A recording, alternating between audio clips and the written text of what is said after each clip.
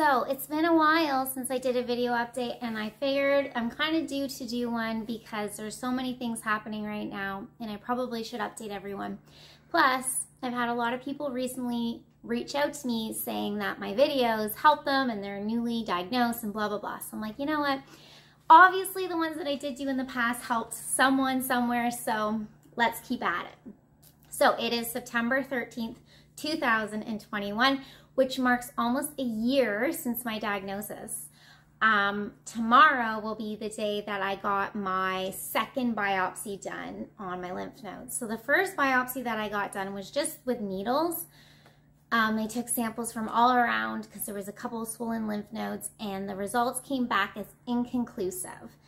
Now, over the past year, I've heard that it's very common that that biopsy gives you the inconclusive results. So my doctor's like, it's good news. We didn't find cancer cells. However, we didn't find any, we didn't get any answers. So therefore we need to do it again. And I remember at that point, they offered me to either do the needles again and to try to, because it's less invasive and to try to get cancer cells, I guess, that way, or they can actually cut and get tissue sample. Um, but obviously that will leave you a mark, a scar. I'm not sure if you can see my, my scar is like non-existent. So I was like, go ahead, um, cut me open. Let's get answers faster, sooner rather than later. So that's what we did. So I will show you a video at the end of this one that was taken, I guess like this day last year of um, me when I was finished my biopsy and I took two days off of work. First day was because I actually get, had to get the procedure done and it actually took a lot longer than I thought. I kind of thought it would be like snip, crap, go, but it, it, it did take quite a bit longer than I expected. I felt like I was at the hospital for like two hours and then my mom picked me up and yeah, then so I got it done on a Monday and then I got my diagnosis on that Friday. So that's just to give you a kind of time, an overview of the time that it took to get my diagnosis. Now that being said, I was diagnosed on September 18th. So that date is also coming up um, soon too. So all this being said, I'm having like these weird flashbacks, I guess you could call them, because school, it's back to school here as well. So last year, my month of August, and historically this has always been the case, but in August I spend a ton of time setting up my classroom. I pour in a lot of time and energy just planning the year as much as I can. If you know me, you know I'm like a huge um, planner, overachiever. So I like to be well prepared. So I did that last year. Kind of had this little voice in my head that something wasn't right because I remember getting hot flashes like while setting up my classroom. My neck was all swollen. I was like trying to put bulletin boards up. I'm like, oh, something's wrong. And anyways, I taught seven days total and then was told you need to self-isolate because of COVID and you're starting chemo treatment shortly, so you're not teaching. So that was discouraging because I poured so many hours into my grade, my first year ever teaching grade five, and I was all ready to go and I was all excited, and then I was told I couldn't. So this year has been a little bit strange because I'm doing the same thing all over again. I'm like setting up my classroom, I'm like planning my year out, and I'm like, mm, this year better land. So I just need to kind of get over the first hump, I think.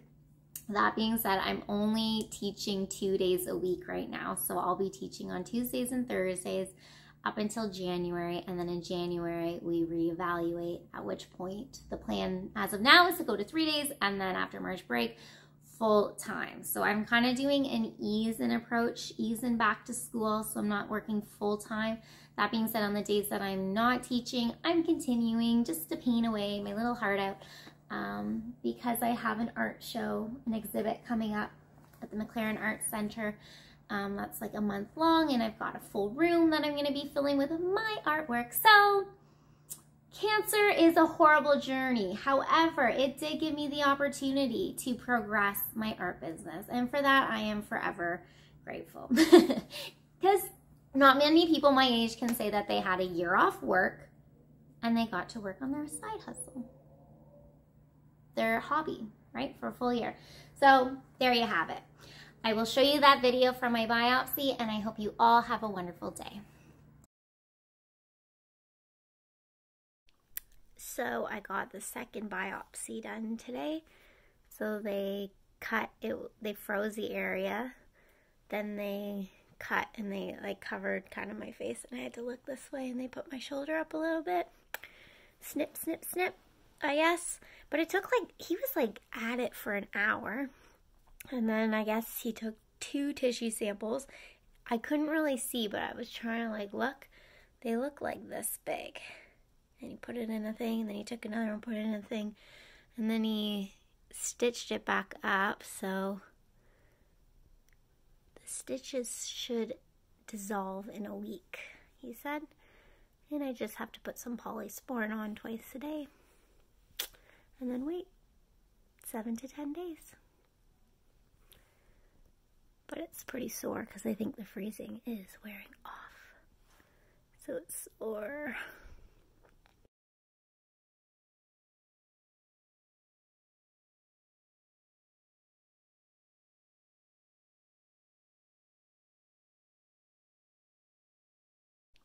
So I got the second biopsy done today. So they cut it, they froze the area, then they cut and they like covered kind of my face and I had to look this way and they put my shoulder up a little bit. Snip, snip, snip, I guess. But it took like, he was like at it for an hour. And then I guess he took two tissue samples. I couldn't really see, but I was trying to like look. They look like this big. And he put it in a thing, and then he took another and put it in a thing. And then he stitched it back up, so stitches should dissolve in a week, he said. And I just have to put some polysporin on twice a day. And then wait seven to ten days. But it's pretty sore because I think the freezing is wearing off. So it's sore.